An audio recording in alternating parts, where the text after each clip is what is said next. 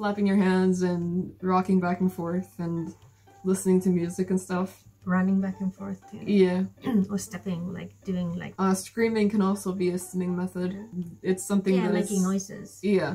It's something that gets insulted a lot. So there's a lot of things that is like energy consuming that we neurotypicals don't even think about as something that could possibly drain you from energy.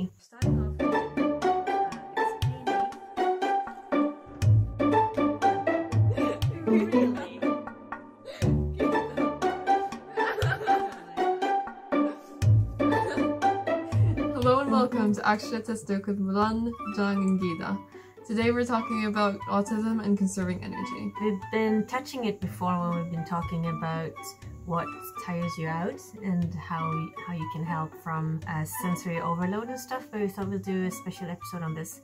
So when we were searching the internet for information about this, we got pretty disturbed over the fact that we didn't really find any information for people with autism on what they can actually do to conserve energy, but rather we found one category that we're talking about how tiring it is for parents with children with autism and how they need to recover and take time for themselves and stuff, which fair enough, but maybe there's another side to it too.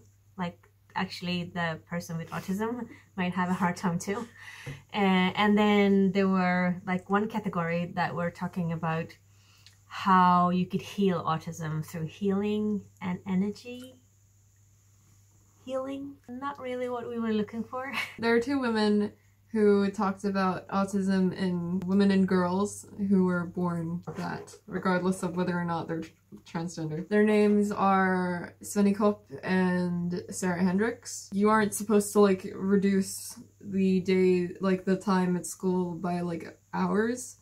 You should rather reduce it by like days. So I was spending like 99% of my energy just trying to fit in and pretend like I was normal. And then all of my other energy went to like the very little amount that I had left uh went to school and by the time school was over I couldn't even do anything at home because I was so exhausted. Yeah. Um And that is very common. Okay, so I tried to make uh, an illustration of the difference between like neurotypical children and children with autism and maybe ADHD. This is an illustration of the morning. So when you're in school, you find out that the substitute uh, because your ordinary teacher is sick and that's annoying for the ordinary child but that was the last drip for the child with autism and so when that happens that's it acting neurotypical could be mimicking, it could be echolalia, which is mimicking the way someone talks, or echopraxia, which is mimicking the way someone moves around or something. Masking, just hiding your autistic traits. Crowds and sensory input, which basically means like if it's way too bright, then that is like a gigantic drain for me because that means that I have to actively hide that I'm bothered by it, which is extremely difficult. Stimming is something that autistic people do if I'm in public, then I am way less inclined to let myself do that because I have such a huge problem with paranoia. a lot of autistic people do. Yeah. So so trying to hide your autistic traits is so common. Yeah. It's like, you know, autistic people aren't stupid. they know exactly what you think. Yeah. People have told me that I'm far more notice like I notice things way faster when it comes to like the way people look at me. So like if someone looks at me judgingly, I will notice it immediate almost immediately. Some ways you can help um conserve energy. In my case, these are just things that I do. When I'm already extremely exhausted and starting to feel because when I get super tired, I start like it's genuinely painful. When that happens, I turn to video games because then somehow I manage to forget about that like agony. I think it sort of like blocks out Yeah.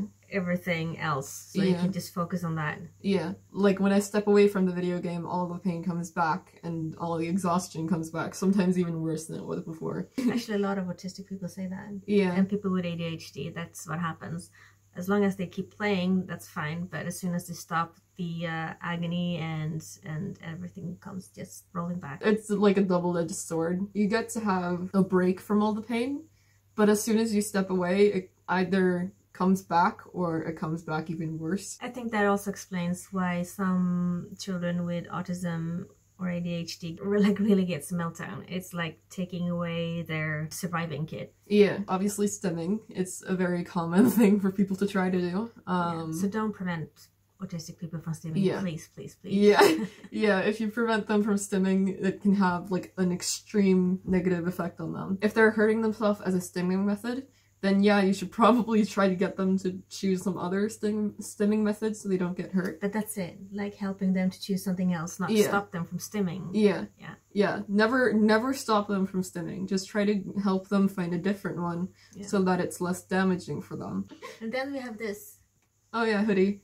Um, I usually wear these just because it makes me feel comfortable. It's one of the only like shirts that I can wear that don't make me feel uncomfortable. It also helps with like light and stuff because I can like pull this down if it's like way too uh, bright outside. You can block out everything. Like Yeah. people, sound, light. Yeah, if I do this, I can't hear anything. Please let autistic and children and children with ADHD have their hoodies and capes and whatever headphones, whatever they need to block out. Please just let them. Don't have that kind of rule that they're not allowed to have hoodies on. Please, please, please. It's so simple. It doesn't cost anything. There's a discussion right now, Milan, that uh, there's a, a free school in Sweden that won't allow children to have hoodies and uh, track pants on What?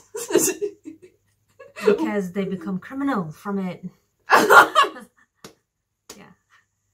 That's so stupid. Oh my god. Because not going to school is might be worse Yeah. than having track pants on. I don't know, maybe. and then obviously take breaks when needed. It sounds so easy, but it's really difficult. Yeah. Because it's it's hard to know your own limits, and Yeah. if you really really want to do your best and be like everybody else, then it's really hard to admit for yourself that you need to take breaks. So Yeah. that's another reason why teachers need to help their autistic pupils. I'm not going to go up to you and say that I'm not feeling good. And also because you want to do your best and you want to cooperate and you want to show everybody that you want to try. I mean, it's hard for, for me as well. Yeah. Somebody would say, well, just tell us when you had enough and you can go. I would, I wouldn't do that either. I would go like, I won't tell them. Goodbye, and stay safe. Next time we're going to talk about depression and mental illness.